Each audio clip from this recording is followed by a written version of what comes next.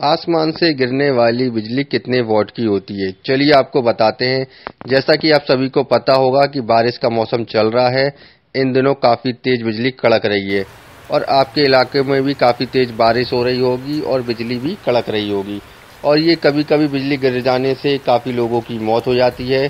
पर मैं आपको बताना चाहता हूँ, जो आप अपने घर पे बल्ब जलाते हैं, वो सौ वाट का होता है। और जो आसमानी बिजली जो गिरती है वो एक करोड़ हज़ार वाट की होती है, जो आदमी को पल भर को जलाकर राख कर सकती है।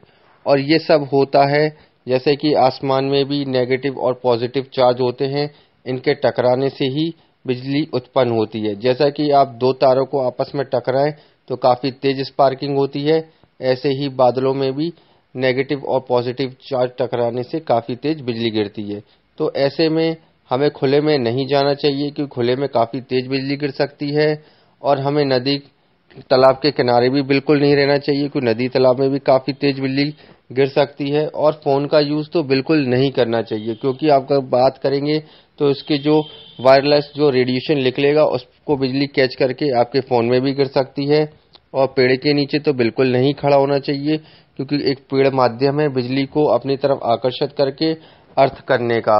और छाते का यूज़ तो बिल्कुल नहीं करना चाहिए, क्योंकि छाते में भी काफ़ी बिजली गिरती है और आदमी की तत्काल मृत्यु हो जाती है।